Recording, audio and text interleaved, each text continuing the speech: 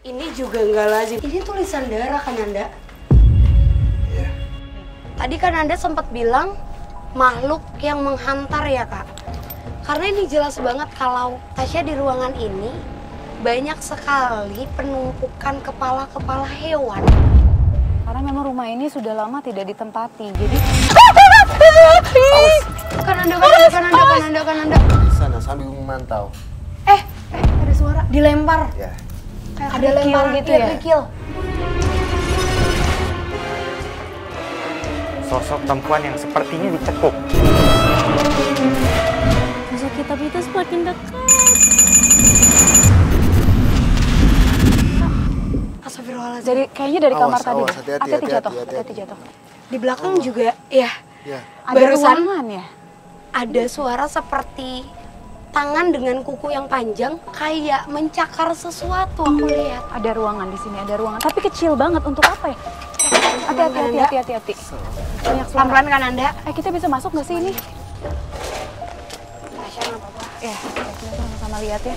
Jadi di sini ada sebuah ruangan kecil yang sebetulnya kalau seorang manusia berdiri pun, bahkan seperti Kak Den berdiri, Itu pasti nabrak. pasti iya mentok. Jadi emang bukan untuk ukuran manusia gitu ya, atau Betul. mungkin barang-barang aja di sini.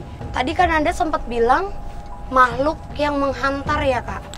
Karena ini jelas banget kalau Tasya di ruangan ini banyak sekali penumpukan kepala-kepala hewan.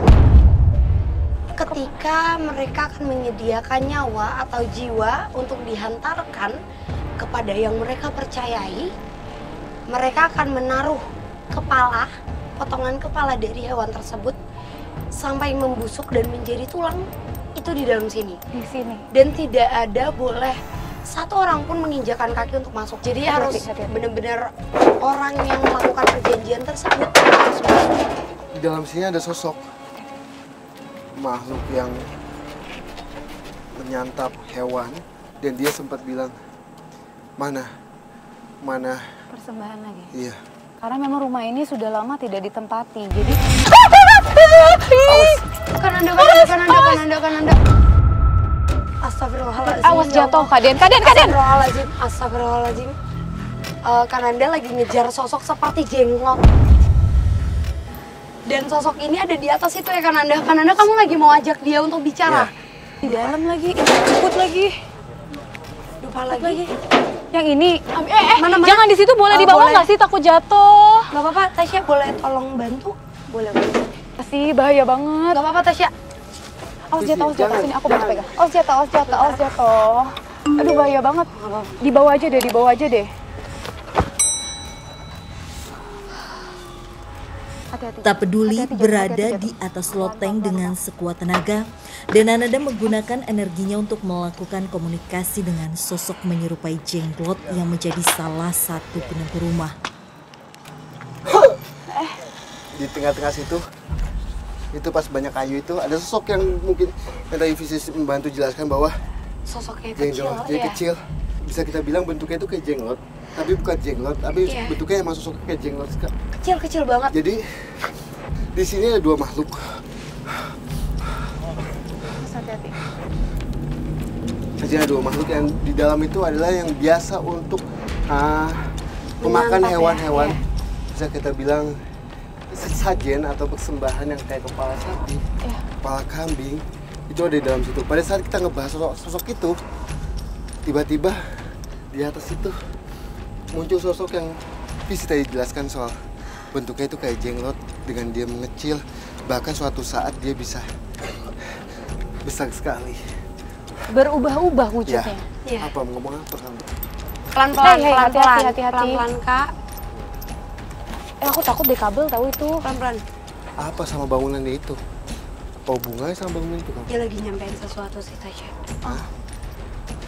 Jadi makhluk ini di bawah itu ada salah satu bangunan. Kalau yang saya lihat adalah kayak bentuknya kayak pendopo. Dia bilang, saya suka diminta sama yang suka kumpul di sana. Pendopo itu juga. Oh, Ah, gini aja, kan Anda nggak apa-apa karena dia udah kasih tahu kalau ada ruangan di sana lebih baik kita semua turun kita deketin ruangannya ya Oke, coba kita explore ke sana Ya kita turun aja pelan-pelan. Ini nggak apa-apa dupanya biar di sini. Ya. Ayo, kok. Ini bapak di belakang ya kak.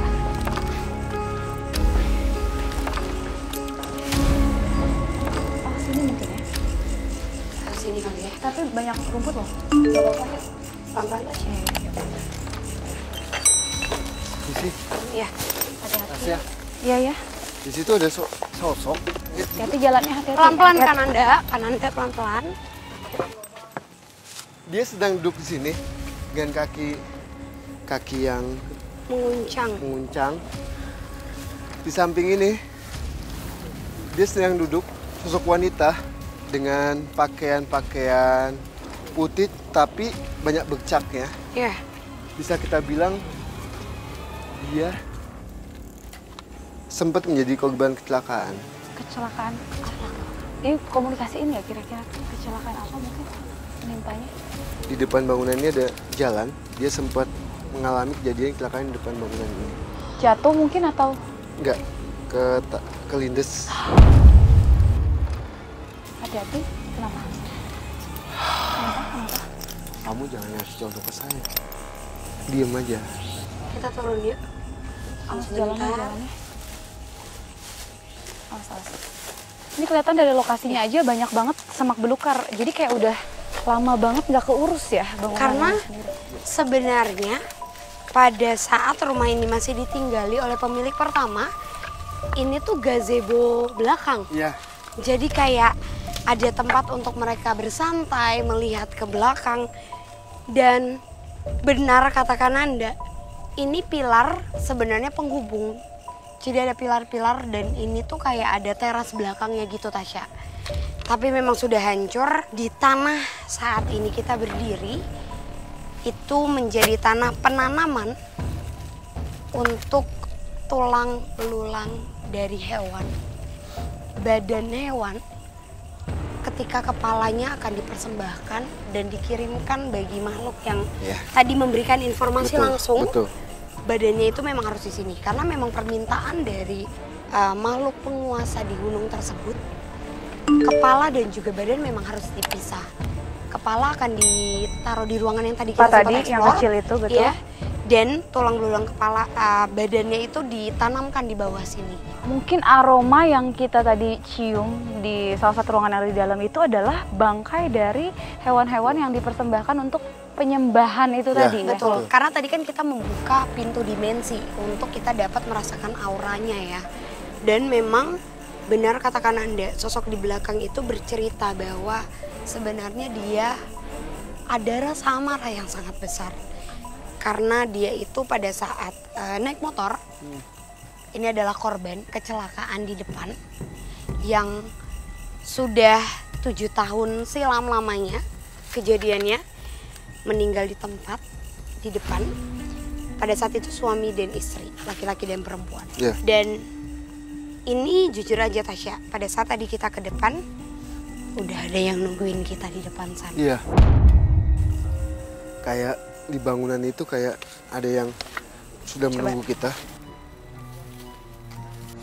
Penelusuran kami di lokasi bekas gazebo halaman belakang yang banyak tertanam bekas tulang hewan persembahan pun berlanjut demi menguak misteri dari sosok para korban yang diduga sengaja dikorbankan melalui kecelakaan oleh pemilik rumah demi memperkaya diri. Ini dari segi bangunannya juga udah kelihatan beda ya, beda tema sama yang rumah di dalam tadi ya. iya Permisi.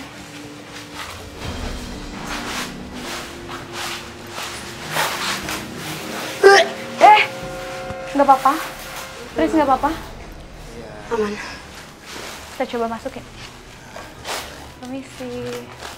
karena ada kamu mau komunikasi di sana atau kamu mau tarik ke depan kamu Tasya Jadi di bangku itu yang tadi sempat saya ajak itu datangi ada sosok kayak kakek tua, sangat-sangat tua sekali. Dia hanya duduk di situ tapi dengan pakaian-pakaian bisa kita bilang bukan dengan udeng-udeng tapi dengan topi dengan topi biasa lah ya. Topi biasa tapi dia menggunakan tongkat. Waduh itu parah banget. Itu anaknya belum ada sebulan. Tapi itu kayak ditempelin. Memang wajahnya kayak anak bayi, wajah bayi tapi kayak diselimuti wajah yang lain gitu. Sini kayak komunikasi ya, sini. Sini ya dalam ya.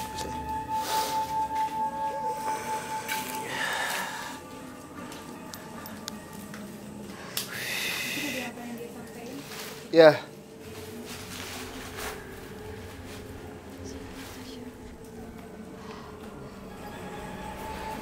Dia bilang sama kita, kamu kenapa ngebahas tempat yang ada di atas itu katanya. Jadi bangunan yang tadi sempat kita bilang tempat tempat Penyimpanan yang kepala ya persembahan kepala sapi atau kepala kambing itu satu line sama ini. Jadi ini bangunan Iya iya iya. Oh Satu iya, garis. satu garis Ya, lurus, ini betul, bangunan. betul. dia satu jalan segini. Iya iya betul betul betul. Jadi di sini dia sempat mengatakan sama saya dulunya itu tempat kumpul bisa kita bilang petinggi-petingginya. Jadi mereka berkumpul di sini dan memantau bangunan yang ada di sana sambil memantau. Eh, eh ada suara dilempar. Ya, Kayak Ada lemparan gitu iya, ya. kerikil. memantau bangunan yang ada di sana. Kenapa? Ada pos yang sebelah yang di sebelah sini. Ini pos depan? untuk penjaga. Pos penjaga. Pos penjaga. Jadi tidak bisa siapa pun bisa masuk ke bangunan yang di- lagi kita duduki ini. Nah, Penjaganya dalam bentuk roh juga atau dulunya itu penjaga yang dia hanya ah, bukan penjaga goib, tapi penjaga manusia, manusia sebelumnya Sebelumnya. Nah, untuk ritual, tapi mungkin sekarang diisi dengan makhluk-makhluk. Oh ya, tadi kan bilang di sini tuh menumbalkan atau memberikan persembahan berupa hewan. Tapi dengan kasus perempuan yang meninggal yang 27 tahun tadi dalam keadaan hamil 5 bulan itu itu menjadi persembahan juga atau kebetulan kasus itu? Bahkan sebenarnya Tasya bukan cuma dia. Jadi gini, hewan itu merupakan simbolis. Ketika katakanlah aku adalah orang yang menganut ilmu tersebut, maka aku akan menjanjikan bahwa aku memberikan tiga nyawa sekaligus. Nah, tiga nyawa itu akan aku gambarkan dan aku kirimkan kepala hewan, ditaruh di ruangan yang tadi sempat kita explore. Lalu akan aku berikan atau aku dapat gambaran seperti mungkin kamu harus memberikan minuman kepada orang yang kamu tuju untuk menjadi korbannya. Atau mungkin Makanya kamu berbusa, ya. Oke, kamu oke. harus menawarkan secara jelas. Kamu akan mendapatkan uang sebesar ini asal kamu eh, apa ya sengaja mencelakai pasangan kamu. Jadi sebenarnya orang-orang yang menjadi tumbal itu adalah orang-orang yang sama sekali tidak tahu menau tentang perihal ini. Jadi dia tidak tahu sama sekali, dia tidak terlibat, tapi dia adalah orang orang luar yang menjadi korban, iya, yang memang sudah menjadi pantauan dari makhluk-makhluk yang dari tadi kita temuin. Sebenarnya ini adalah ruangan yang tidak sembarang orang untuk datang. Dengar nggak?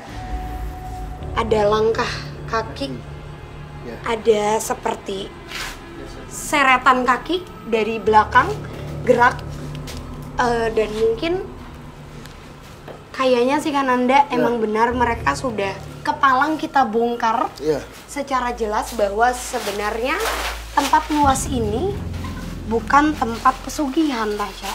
Melainkan ini memang penyalahgunaan Ajaran- satu ajaran. ajaran. Iya. Aku pengen nanya juga, mungkin karena dari tadi Fris ataupun Kak Den sempat menemukan berbagai wujud. Iya. Tapi kan kalau kalian ini memang memiliki kemampuan spesial atau khusus yang sensitivitasnya itu tinggi. Tapi mereka tuh sering gak sih menunjukkan diri untuk orang-orang biasa gitu, seperti Tasya dan teman-teman yang lain. Ya, jadi gini. Apa kayak? Jadi belum lama ini sempat ada kejadian. Ada mungkin yang penghuni tempat ini, penghuni Saat bangunan ini ya? saat ini, dia sempat dikasih, lu mau uang nggak? Kalau mau uang gue minta itu.